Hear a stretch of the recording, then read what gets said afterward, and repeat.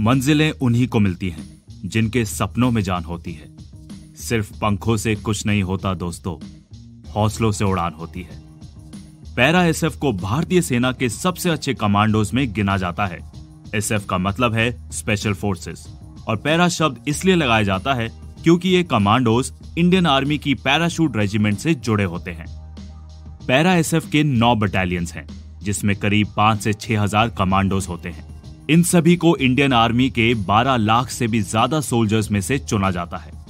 Para SF India के ही नहीं, बल्कि दुनिया के सबसे बेहतरीन कमांडोज में से एक हैं। सन 2014 में इंग्लैंड में दुनिया के 140 देशों के कमांडोज के बीच कंपटीशन हुआ था, जिसमें पैरा एसएफ ने गोल्ड मेडल जीता था। Part one achievements para SF commandos वो शेर हैं जो दुश्मन के इलाके में घुसकर शिकार करते हैं। इनका नाम सुनकर ही खलबली मच जाती है। आइए इनकी चालाकी और बहादुरी के कुछ सबूत देखते हैं। अगस्त 2020 में, पैरा कमांडोज ने स्पेशल फ्रंटियर फोर्स के साथ मिलकर एक ऑपरेशन चलाया, जिससे उन्होंने रातों रात पैंगोंग सो झील के किनारे पर मौजूद कई चोटियों, जैसे ब्लैक टॉप और हेलमेट पर कब्जा कर लिया। इस ऑपरेशन के बाद अचानक पूरा पलड़ा भारत की ओर झुक गया। और चीन सिर्फ़ देखता ही रह गया। 2016 में पैरा एसएफ ने पाकिस्तान में घुसकर सर्जिकल स्ट्राइक की। स्पेशल फोर्स की कई टीमें पाकिस्तान बॉर्डर में दो से तीन किलोमीटर अंदर तक पैदल गईं और उन्होंने 40 से 50 आतंकवादियों को मार गिराया। पैरा का सिर्फ़ एक कमांडो घायल हुआ, क्योंकि उसने गलती से एक लैंडमाइन पर पैर रख दिया था। सन 2000 में, पैरा एसएफ के सिर्फ़ 90 कमांडोज ने अफ्रीका के सियरा लियोन नाम के देश में एक रेस्क्यू ऑपरेशन चलाया। उन्होंने वहाँ की विद्रोही सेना आरयूएफ के 2000 से 4000 सैनिकों को सरेंडर के लिए मजबूर किया और गुरखा राइफल्स के 223 जवानों को छुड़ाया, जो करीब ढाई महीनों से बंदी थे। सन 1988 में मालदीव्स के राष्ट्रपति और उनके सिक्योरिटी गार्ड्स को कुछ आतंकवादियों ने बंदी बना लिया था। पैरा एसएफ की कई टीमें वहाँ गई और उन्होंने बेहद सावधानी से काम करते हुए राष्ट्रपति, उनके साथियों और सिक्योरिटी गार्ड्स को छुड़ाया। इसे पैरा एसएफ के इतिहास के सबसे मुश्किल और कामयाब ऑपरेशंस में गिना जाता है।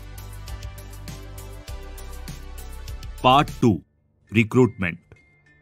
अब जानते हैं कि इंडियन आर्मी के लाखों सिपाहियों में से पैरा एसएफ के कमांडोज कैसे चुने जाते हैं। पैरा एसएफ का सिलेक्शन पीरियड तीन महीनों का होता है।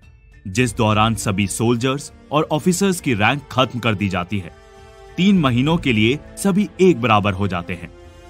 अलग अलग तरीकों का इस्तेमाल करके उनकी शारीरिक मजबूती, अकलमंदी और मानसिक मजबूती को टेस्ट किया जाता है। जैसे, बिना खाना खाए चार दिन तक रहना, सिर्फ़ एक लीटर पानी में तीन दिन काटना और बिना सोए सात दिन तक रहना। एक टेस्ट में उनके दोनों हाथ बांधकर उन्हें पानी में डुबोया जाता है उनके छिपे हुए डर को पहचानने के लिए। सभी कैंडिडेट्स को करीब 20 किलोग्राम वज़न लाद के 100 किलोमीटर तक दौड़ना भी होता है।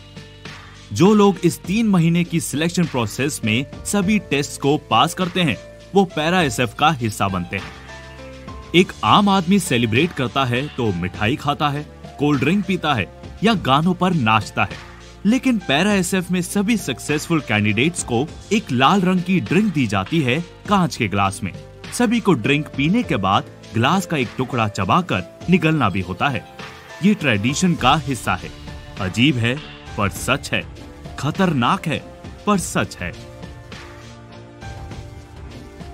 Part three training para SF commandos की ट्रेनिंग साढ़े तीन साल तक की होती है। जो दुनिया की सबसे लंबी ट्रेनिंग है। ट्रेनिंग में हर दिन की शुरुआत 20 किलोमीटर की दौड़ के साथ होती है। हर हफ़्ते सभी कमांडोज को 60 से 70 किलो वज़न लेकर करीब 100 किलोमीटर दौड़ना होता है।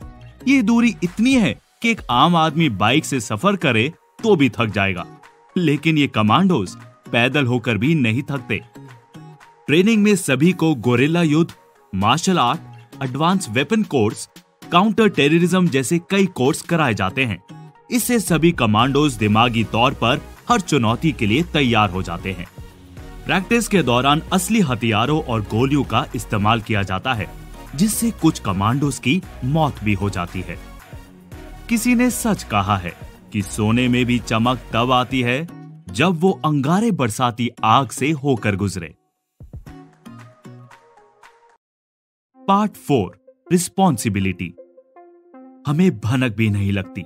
पर पैरा एसएफ के कमांडो नेशनल सिक्योरिटी से जुड़े हुए अलग अलग कामों को अंजाम देते रहते हैं। उनके प्रमुख कामों की ओर देखते हैं। दुश्मन सेना के बारे में सीक्रेट इंफॉर्मेशन इकट्ठी करना।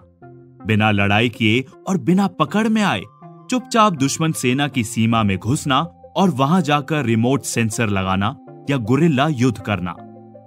आतंकवाद और घुसपैठ को रोकने के लिए डायरेक्ट ऑपरेशन यानी आर पार की लड़ाई लड़ना।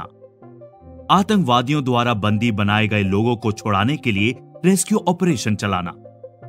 इन कामों के अलावा भी पैरा एसएफ के जवान कई मिशन को अंजाम देते हैं, पर नेशनल सिक्योरिटी की वजह से उनकी जानकारी सीक्रेट रखी जाती है। पैरा कमांडोज को उनके मिशंस के लिए सरकार दुनिया के सबसे बेहतरीन हथियार खरीद कर देती है। जैसे Glock pistol M four A one carbine F N SCAR assault rifle Barrett sniper rifle और B three hundred Shipon rocket launcher Indian army के पैरा एसएफ के कमांडोज हिंदुस्तान के 140 करोड़ लोगों को महफूज रखने के लिए अपना काम बेहद खामोशी और बहादुरी से करते हैं। उनके जज्बे और देशभक्ति को हमारा सलाम। ये पैगाम हवाओं को बताए रखना, होगी रोशनी चिरागों को जलाए रखना। देकर लहू की जिसकी हिफाजत शहीदों ने, आन उस तिरंगे की हरदम बचाए रखना। जय हिंद। वीडियो पसंद आया हो तो लाइक और शेयर ज़रूर करें और हमारे नए वीडियोस देखने के लिए चैनल को सब्सक्राइब भी ज़रूर करें। Thank you.